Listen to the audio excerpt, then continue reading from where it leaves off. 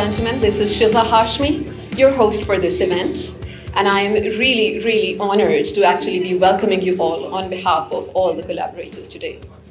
This is definitely a historical event, and uh, today we are going to celebrate the transfer of technology and expertise in construction of skyscrapers and high-rise buildings and complexes between Italy and Pakistan. I would like to welcome our guest of honors for tonight. His Excellency, the Ambassador of Italy to Pakistan, Mr. Andreas Ferrarese, the, His Excellency Ambassador of Pakistan to Italy, Mr. Jauhar Saleem, the Secretary of Board of Investment, Mrs. Fareena Mazhar, Mr. Marco Casamonti, who will be present with us in virtual, of course. He happens to be the Chief Architect of Archea Associate, Mr. Nadeem Khan, the Resident Director at Maxens Engineering Corporation, and last but not the least, Mr. Junaid Afzal, the CEO of Nova Group. Now I request you all to please stand in the honor of our national anthems, both Pakistan and Italy's.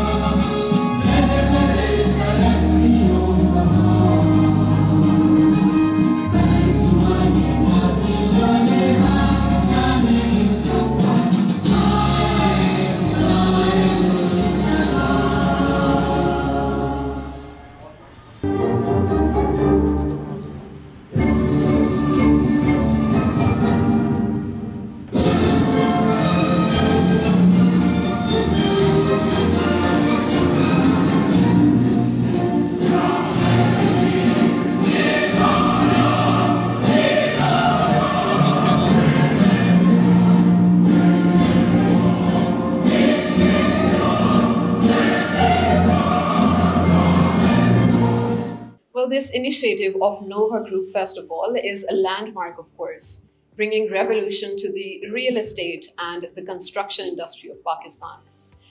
And I'm pretty sure when I announce this, this is going to be the first time you all hear that the group is initiating to build a skyscraper with the name of Nova One. This, is, this was initially the initiative of the government of Pakistan through CBD Lahore, of course. The government then auctioned the plot and established the record of transparency, of course, for the highest selling price for that plot. And now Nova, of course, acquires it. it. Nova 1 is going to be built there, and it is going to be the tallest skyscraper of Punjab. That is absolutely brilliant. Now, Nova being one of the pioneers of what it is doing today is definitely going to be a household name in the future as well. And it is going to change the skyline of not only Punjab, but eventually Pakistan as well. Nova Group has embarked on a very enticing journey, we call it. We want to contribute towards the socio-economic betterment of Pakistan. And we are in partnership with many other international uh, partners. We want to make it happen. For this purpose, what we are trying to do is we've been gifted a great land of Pakistan. We are very much in depth where we live. And what we want to do now is with the technology and the transfer of knowledge, we want to take it to the next level. Under the leadership of our chairman, Junaid Afzal Rao, we are not only proactive, but we are on a journey for excellence to make it better, what we want to bring it the better tomorrow. And now, Nova, after joining and doing homework for about one to two months, how to build a skyscraper, rather than being concentrating on their selling policies and selling technologies, they first concentrated on the technology so that they can give you the best of the best designed skyscraper. Imran, you being engineers and have been working with the multinational organizations abroad, and you can well imagine, even just to design an elevator of a skyscraper, There's a complete company that requires to design the lift, the elevator. We are, we are habitual of going to the 23 stories, 20 stories here in Pakistan. But whenever you are going above 500 feet, look at the air and wind pressure on the building, the sway on the buildings. And Dr. Saab, we, as uh, you have been engineering and uh, doing engineering, you, you see what is the terminology over here that we learned in this research with the Nova Group, that we have been augmenting the building Imran with the steel and reinforcement by not realizing that we are going to add up a load onto the earth.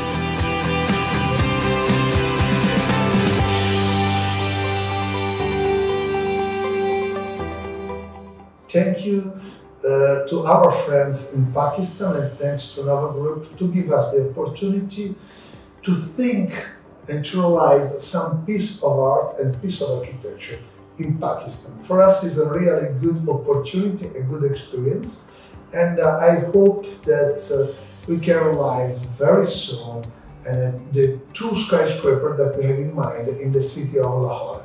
It's a great opportunity. It's an great uh, also opportunity for the country to develop and to increase the quality in the construction field. And uh, in, in the same time, we need to learn from Pakistan, but also I think we can teach what means to create an architecture for today,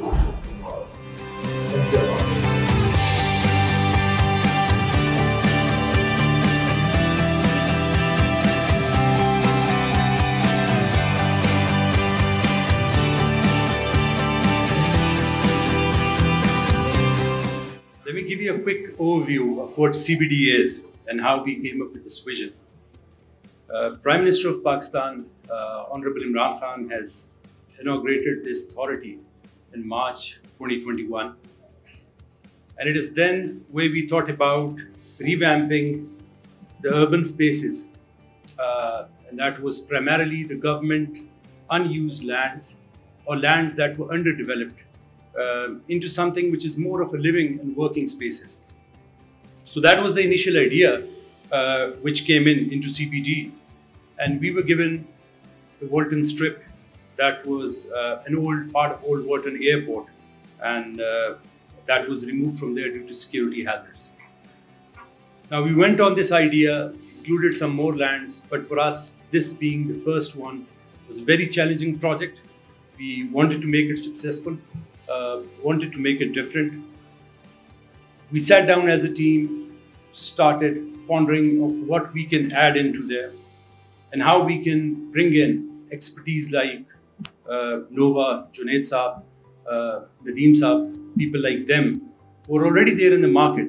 But I think the, they've never worked uh, in sort of a joint venture, how this authority has now managed it through this CBD venture.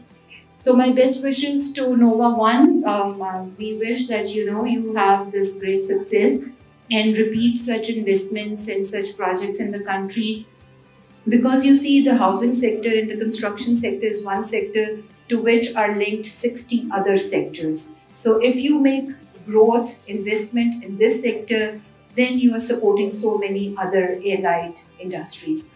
Uh, also providing so much job opportunities to the uh, to the you know two million youth which is being added to the uh, population every year. So uh, once again, I congratulate you. My best wishes for all of you, and uh, hope that this will uh, be a ripple effect, and others investors will also follow and come to Pakistan. Honestly, the potential this country has has not been explored. It has not been utilized. And our dear friend Junaid, who has the deceptive looks of a man having a stroll in the park, but is a very sharp businessman and a very dynamic one.